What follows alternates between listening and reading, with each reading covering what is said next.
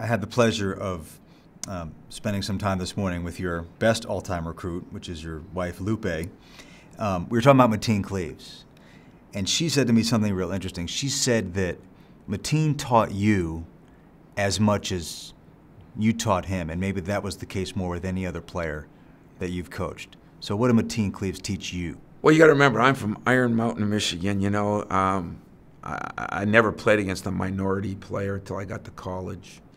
Um, you know, I thought he he always thought of me as the white guy from the where it snows a lot, and I always thought of him as the inner city guy. You know, and and and it was amazing because after a year of fist fighting, and we got on the same page.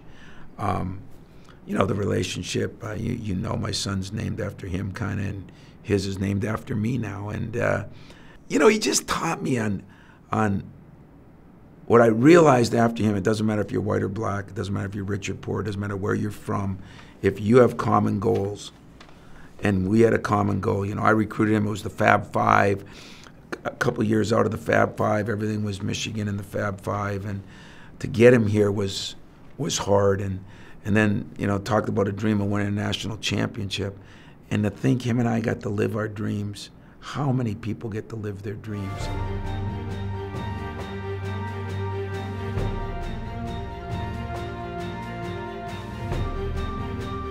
It's almost unbelievable, you know. And he could have come out as a junior, and and like Magic here, I think Magic was a good in, good influence on him. He hadn't won a national championship here, and that's what he came to do.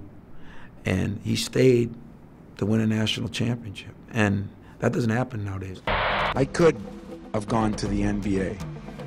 That's not the same as going, but thank God I worked for some people that gave me that opportunity to look. I know you've had offers to go elsewhere. Uh, you've turned down more money than most people will ever see in their lifetime, so it makes me question you from time to time. But um, me too. I, am sure, and and I know most of them haven't gotten public, but obviously the most public situation you were involved in was uh, with the Cleveland Cavaliers. Was there ever a moment during that process where you really thought, "I think I'm going to do this"?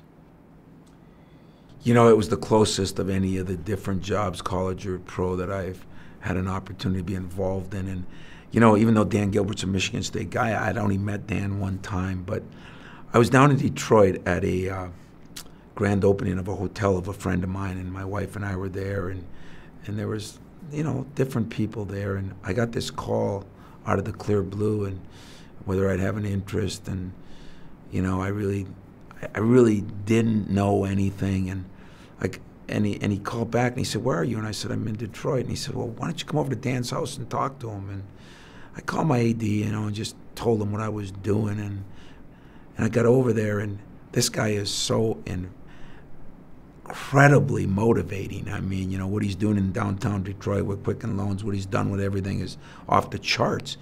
And I sat there with my wife at 9:30, 10 o'clock at night as he paced in front of us in a pair of jeans and work boots and a T-shirt. And I mean, he almost had me right then because I just felt like, wow, this guy wants to win a championship. Um, he's going to do what he can do, and uh, that's what made it hard, you know. And and I did think about it, and thank God my president here, and my AD here were so supportive. They gave me a chance to really look at something that was not only an incredible amount of money, but it was still in the Midwest. And um, for a guy that I think someday I'd like to work for in different capacity, maybe. But uh, and of course, the big question was whether or not LeBron yeah. was going to resign, and ended up that he did not. If LeBron was coming back to you the know, Cavs? It, it, it, had something to do with it, but at the time we didn't know, and uh, I wasn't basing my thoughts either way on that. Now, maybe if he was already there, you would have said, "Wow, you know, what a chance of a lifetime to coach one of the greatest players that ever played." But uh, you know, we got one here in Magic, so that would have been okay. But uh, would it have made a difference? I don't think so because I made it for other reasons. It's I interesting. I always assumed that if LeBron came back, it was you know. To me, uh, it's, it would be it would almost be coaching malpractice if you have a chance to coach LeBron James and yeah, you turn that down. Yeah, and, and you're probably right. But since we didn't go through that scenario, I don't know how I would have reacted, but I never regretted it, Seth. I, you know, that's the good news. I, I don't sit here. I mean, once in a while when you lose a big recruit, you say, God, I wish. or once in a while when you deal with problems that you don't have to deal with there. But then again, I'm sure they have problems that I don't have.